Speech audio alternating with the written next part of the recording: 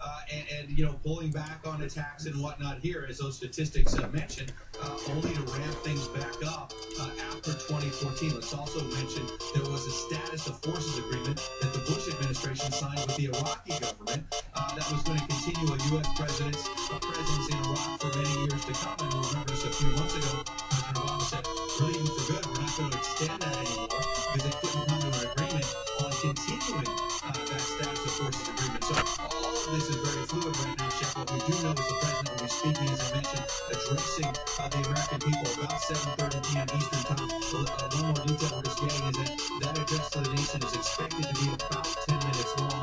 So a chance for the president maybe to mention this anniversary of Al-Assad, but also talk about the broader context in terms of